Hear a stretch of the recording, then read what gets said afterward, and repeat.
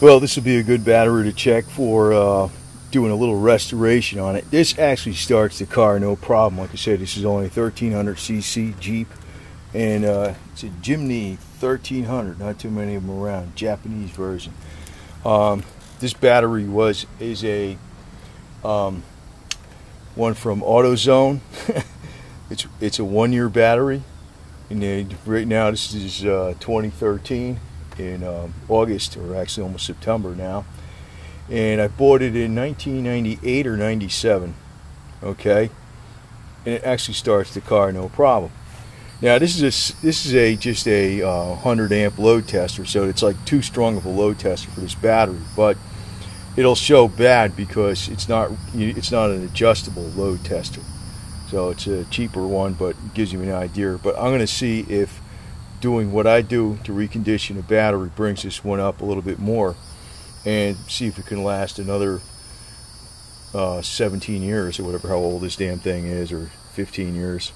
So put on a load test for 10 seconds. Um, this way. One two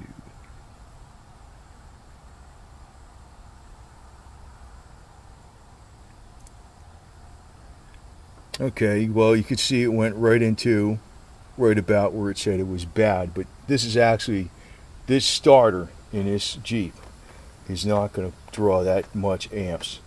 So it would probably probably be in the green area, but just to give it a reference point, it went slightly into the red area. So I'm going to put some stuff in it and treat the battery, and we'll see from there how well it does after we do a few discharges halfway or a little bit and then recharge it do this several times and we'll see how strong it gets later on. Well here's a little trick. Um, got some distilled water. I made that in a water distiller. Epsom salt right? So it is Epsom salt. And uh, just put a few level tablespoons in there level. And we're going to stick it in the battery. Which will uh, desulfate it let it soak, let it uh, mix up good.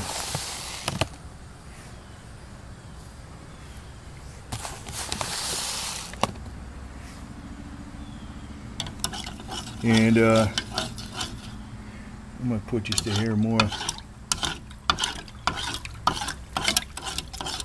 Make sure it's mixed up good. And uh, it's just going to go in each cell on the battery. I just got a little cup here use as a uh, funnel. That's it. So then I'm going to discharge the battery a little bit and then charge it, discharge it, recharge it, discharge it, and then we'll put the load tester on it in a few days, which you'll see that immediately in the video, of course. Okay, just put a little bit of Epsom salt into each one of the, you know, the Epsom salt solution into each one of the filler caps on the battery, you know, Epsom salt. And you know, this battery, you notice here, it's got Gorilla Glue around it because it was leaking a little bit of acid by the positive post. Hey, just cleaned it off really good with some, uh, you know, brake cleaner or thinner or something like that, or starting fluid or whatever the hell I used. And uh, I put Gorilla Glue around it. This used to get corroded with all kinds of junk, staying clean. So, there's all kinds of ways you could do stuff, and actually, to me, that's the way to do things, right? You got to know your own stuff. Now this thing was just on a trickle charger for about less than 24 hours, or around 24 hours, which is probably too short of a time because I had this on a desulfating trickle charger for weeks. Just the first shot I checked it, but let's uh, give it a try anyway and see what happens. Look at that. Look at that. You see the difference? It's already it's already staying in the yellow a little bit. You notice that? See that? And it was in red a little bit. So it did, in fact, improve it that fast. Now, if you're going to use this thing over where you're going to be, you know, discharging the battery a little bit, charging it up, discharging it, it's actually going to get better than that. So this actually brought it back, I'd say, about three or four tenths of a volt higher on that already. And this is I just put the stuff in here. I didn't discharge the battery a little bit. I just put it on a trickle charger. And before I put the stuff in it, it was on this desulfating trickle charger for weeks. So I mean, this is a really fair, unbiased type of uh, reporting. So this stuff does in fact work. It's actually going to get up higher. Now this battery, like I said, is um, a small battery for 1300cc Jeep, and I'm testing it with a 100 amp load tester. So it's not fair to like load test a small tiny battery with 100 amps and also test a large battery with 100 amps. That's why I use adjustable ones. This is, this is a cheap one.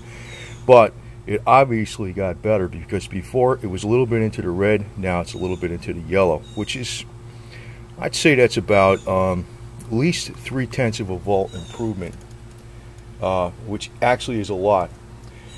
You know when you're going from a fully charged battery at rest it's 12.7 volts. The flat out zero, it's like uh, 10.2. It's not zero, it's not one, it's not five, it's like, excuse me, 10.8, 10.8. And when a battery is around 12 volts, it's I think it's got about 50% of the charge in it, or 12.2 or 12 volts. It's not like what you think it is, you know.